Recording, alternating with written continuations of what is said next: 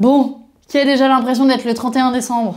Moi perso, je dis pas ça pour la taille de mes cernes, mais quand on voit euh, l'actualité, on, se prend des coups de poignard sur coups de poignard. Donc euh, la hausse du prix de l'électricité, plus 10%, allez, boum En plus, euh, ça nous fait 45% d'augmentation en deux ans. Les agriculteurs, on va les laisser en galère sans des justes rémunérations et puis pouf Nouveau coup de poignard, des nouveaux accords de libre-échange qui arrivent pour les, mettre, les soumettre à une concurrence euh, déloyale. Bref, je sais pas vous, mais moi j'ai un peu l'impression d'être déjà le 31 décembre. Le problème, c'est que le 31 décembre, en général, t'es un peu content parce que tu vas avoir des vacances. Euh, tu vois, c'est le moment un peu en famille, euh, après Noël, tout ça. Là, le problème, c'est que on est à la fin du mois de janvier et que l'année va être longue. Et surtout, elle va être longue avec ce gouvernement où on a un peu Gabriel Attal qui rame et puis euh, Jordan Bardella qui tient le gouvernail derrière. Donc euh, voilà, on a un, beau petit euh, duo qui sont pas vraiment des rivaux, qui sont plutôt des jumeaux et puis qui nous foutent des coups de poignard, qui rajoutent la vie chère sur la vie chère sur la vie chère comme si elle n'était pas assez chère. Bref, vous l'avez compris, je suis un peu énervée pour cette accusé. Je vais essayer d'y aller plus tranquille parce que après on nous dit oui, vous les insoumis, vous êtes un peu énervés et tout. Bah ouais, il y a de quoi être en colère. Augmentation 10% du prix de l'électricité, on ignore complètement l'appel, la détresse du monde agricole alors que ça fait des années qu'on disait que ils n'étaient pas rémunérés correctement, qu'ils refusaient les prix planchers, qu'on les soumet à une concurrence déloyale. Bref, je vais vous parler de tout ça, de l'actualité, de la colère qui gronde du tracteur jusque dans nos assiettes. Allez, c'est parti générique.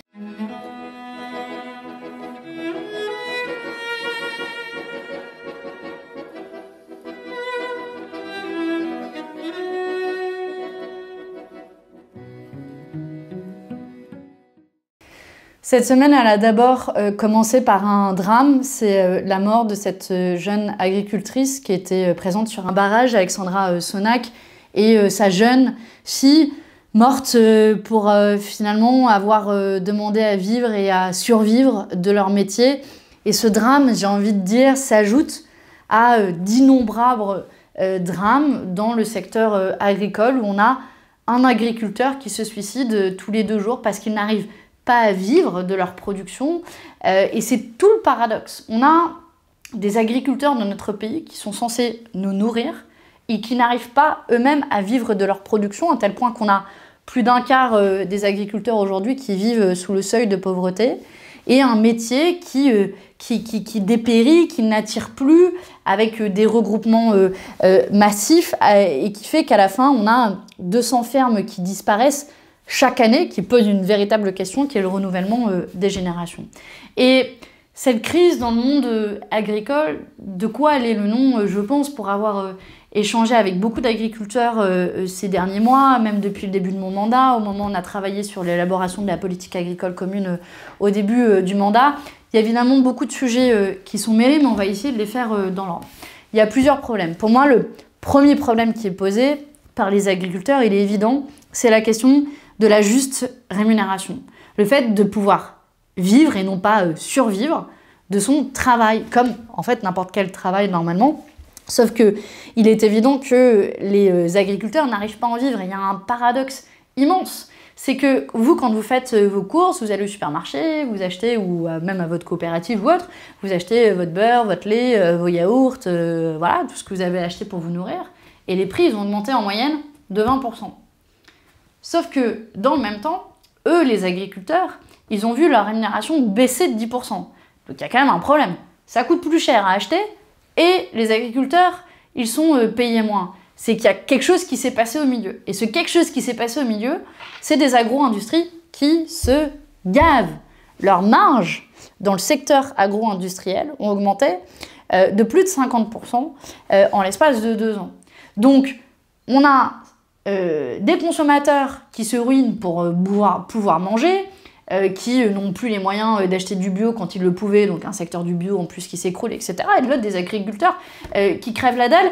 Donc, tant qu'on ne comprend pas le système de rémunération, alors on ne comprend pas le cœur du problème.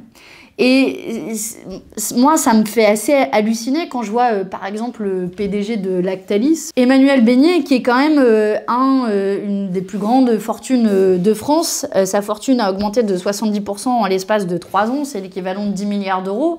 Et c'est le même qui va aller faire les poches des agriculteurs et qui, fait d'eux des vaches à lait au sens propre comme figuré d'ailleurs, et qui fixe un prix du lait qui a un prix qui est absolument pas rémunérateur pour les, agriculteurs. Donc sur le premier sujet de, de la rémunération, je pense qu'il faut agir à la fois pour avoir des prix planchers, qui sont des prix rémunérateurs minimum euh, pour les agriculteurs. Nous, on s'est battu là-dessus, à la fois les collègues à l'Assemblée nationale, et on a perdu de six voix, mais aussi nous au Parlement européen, dans le cadre de la politique agricole commune. Et je veux dire au passage, hein, cette politique agricole commune-là, elle vient pas de nulle part elle a été votée de concert par le Rassemblement national, la droite et les macronistes. Donc leur larme de crocodile sur séduire le, le monde agricole alors que c'est eux qui ont confectionné cette PAC-là au service d'un modèle agro-industriel plutôt qu'au service d'une agriculture paysanne qui n'est plus, qui sort de la logique de la rémunération à l'hectare, c'est eux qui en sont euh, directement responsables. Et puis l'autre levier, je vous parlais euh, des marges, c'est évidemment comment euh, on agit sur les marges de ceux qui se gavent au milieu. Et pour ça,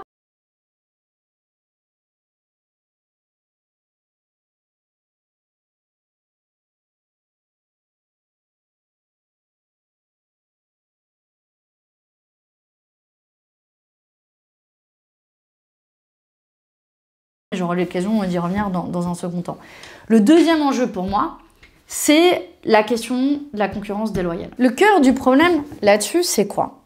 C'est que on demande à nos agriculteurs de respecter des normes sociales et environnementales, parfois aussi pour les protéger et pour leur bien-être, mais on ouvre grand nos portes, nos fenêtres, nos frontières à des produits qui viennent des quatre coins du monde et qui ne respectent pas les mêmes règles sociales et environnementales.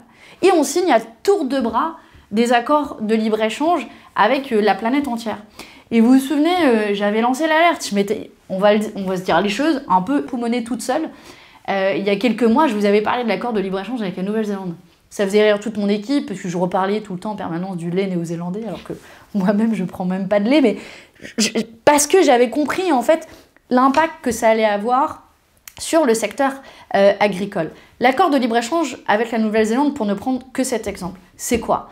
C'est importer des produits qui, viennent de 20 000 km d'ici, qui sont produits dans des normes sociales et environnementales différentes, notamment un pesticide qui est interdit en Europe qui s'appelle l'atrazine, qui est autorisé là-bas, et qui évidemment, tous ces produits-là, comme le lait, puisque la Nouvelle-Zélande est le premier exportateur de lait au monde, ça va arriver sur le marché européen et ça va être de la concurrence déloyale pour euh, nos agriculteurs. Mais je peux vous parler du lait, mais cet accord, tenez-vous bien, il va augmenter euh, les quotas, donc l'importation euh, de Nouvelle-Zélande, 10 000 tonnes de viande bovine, 40 000 tonnes de viande ovine, 15 000 tonnes de beurre, 20 000 tonnes de fromage, et puis, euh, il y a des aliments pour lesquels il n'y aura même pas de limite. Les pommes, le kiwi, le vin, le vin, quand même, on est français, les oignons, euh, le poisson, tout ça, il n'y a pas de quota. Donc allez, pouf, venez sur notre marché, c'est pas grave, et puis on regarde même pas les normes que vous avez. Et puis vous croyez qu'ils ont retenu la leçon? Non, absolument pas. En pleine crise agricole qu'on vit en France, mais qu'on vit d'ailleurs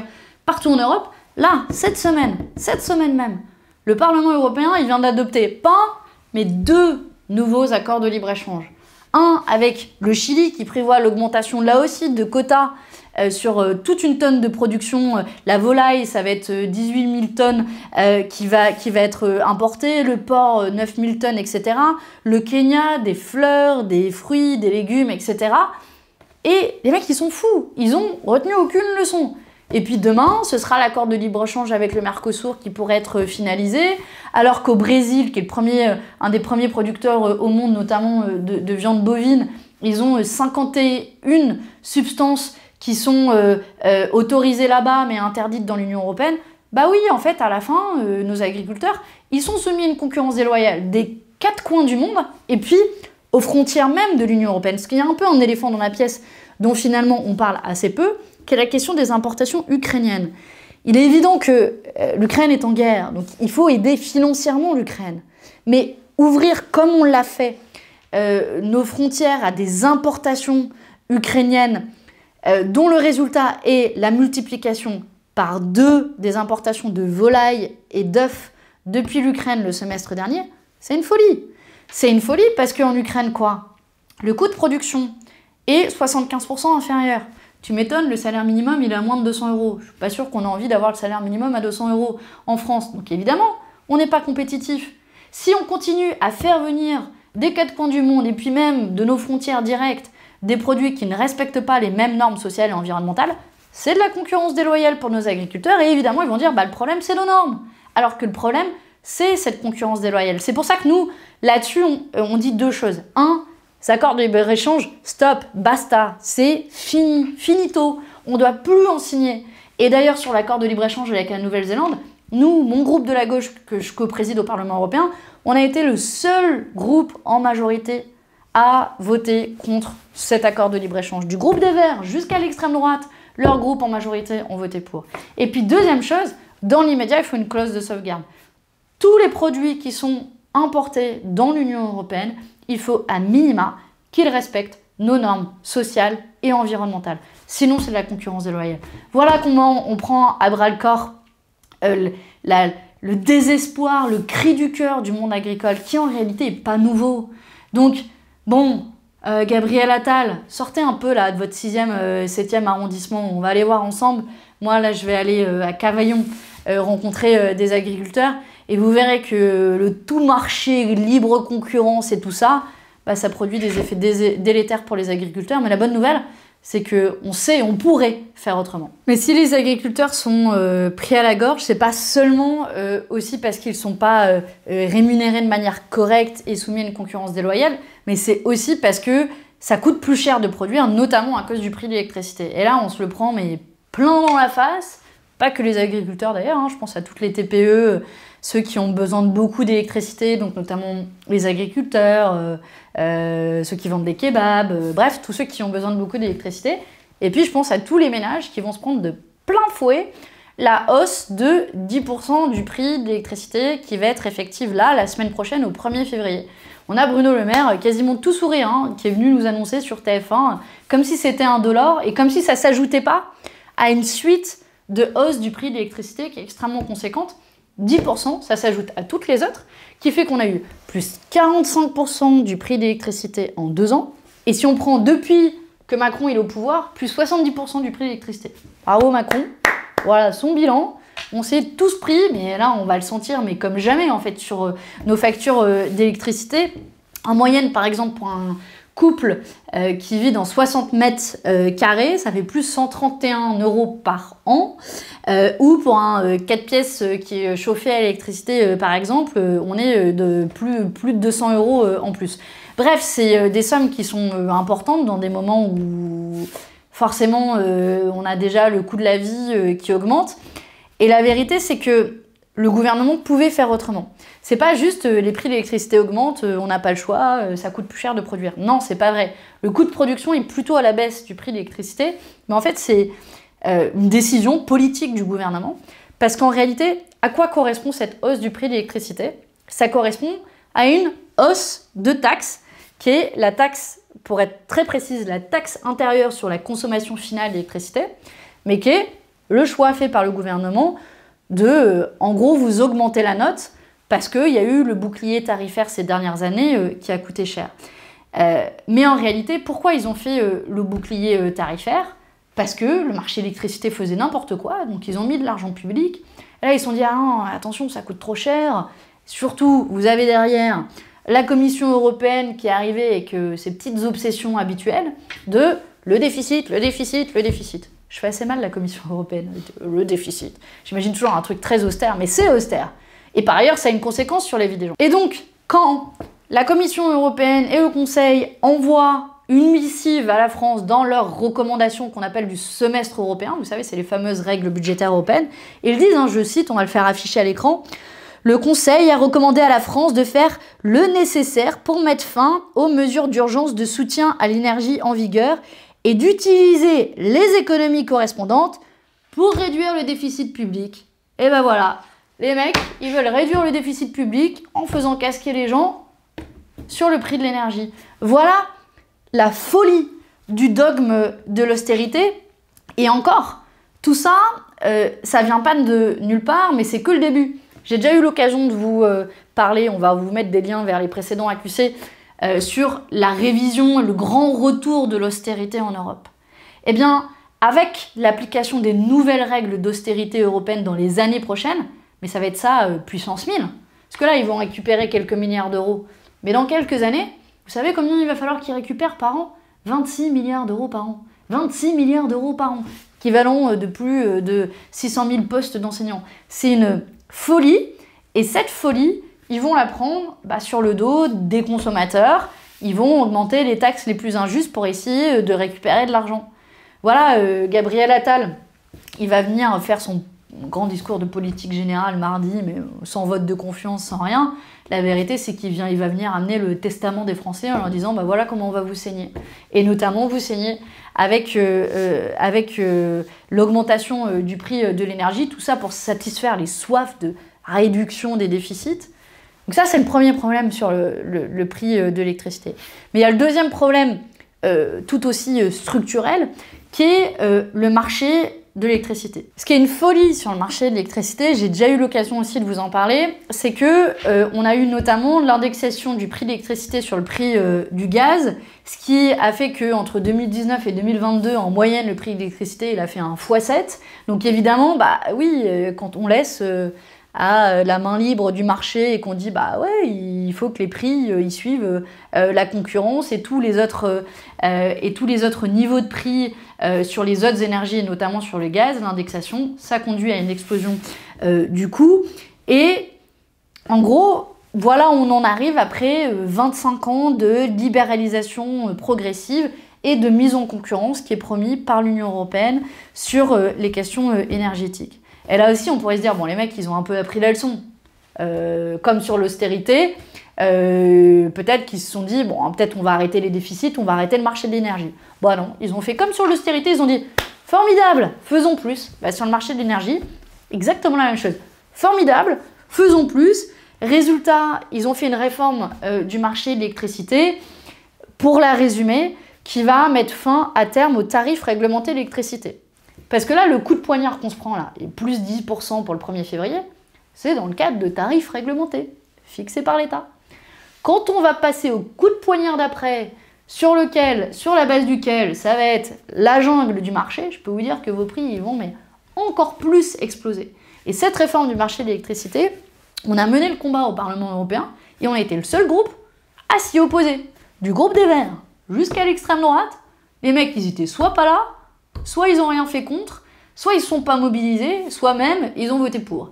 Et au final, le marché de l'électricité, eh bien, il va évoluer de manière encore pire, mettre fin à nos tarifs réglementés, le tout avec l'aval de tous les plus grands groupes euh, au Parlement européen, comme s'ils n'avaient tenu aucune leçon. Donc vous le voyez, les amis, l'actualité, que ce soit euh, sur le sujet agricole ou sur le sujet euh, de l'électricité, la question de, l'omniprésence du poids du marché et de comment on devrait en sortir, y compris à l'échelon européen, se pose et j'ai envie de dire nous offre une belle pré-campagne pour l'échéance qui va arriver le 9 juin prochain.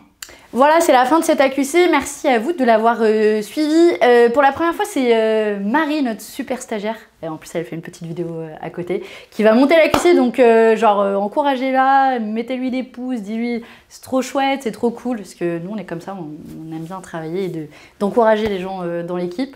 voilà, comme d'hab, si vous passez par là pour la première fois, n'hésitez pas à euh, suivre, à vous abonner à la page YouTube euh, pour euh, avoir les notifications des prochaines vidéos, puis à nous faire des retours de manière plus générale sur le fond, sur la forme, des petits pouces, tout ça, ou des encouragements à Marie. Allez-y, moi je continue à labourer le terrain, on va aller voir des agriculteurs, on est en réunion publique à Cavaillon, et puis bah, la semaine prochaine, il, il paraît qu'il y a un Premier ministre qui va faire un discours de politique générale, mais comme on a déjà eu Macron qui a déjà envoyé euh, la lettre de testament à tous les Français euh, qui vont être saignés. Bon, je ne sais pas trop euh, à quoi il faut s'attendre. Toujours est-il que ce qu'on est sûr, c'est que Gabriel Attal, lui, le vote de confiance, il s'en fout, autant écraser l'Assemblée. Au moins, il y a une forme de continuité entre Elisabeth Borne et lui, il faut bien le reconnaître. Allez, sinon je vais faire une accusée beaucoup trop longue à monter pour Marie. puisque je vous ai commencé en disant, j'ai l'impression qu'on est déjà le 31 décembre, on va faire un looping et on va faire une année ensemble d'un coup. 31 décembre, pouf, on passe à l'été. Je, vous ai déprimé, révolté avec cet accusé. Je vais vous remettre un peu de bonne humeur avec euh, juste des trucs que j'écoute en ce moment. Parce que comme d'hab, je vais vous laisser en musique. In the summertime. Ciao les amis, prenez soin de vous.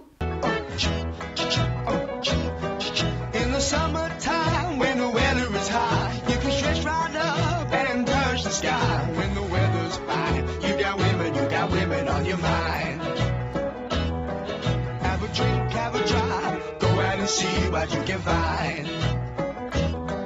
If a daddy's rich, take her out for a meal. If a daddy's poor, just do what you feel. Speed along the lane, you can down or a turn of 25.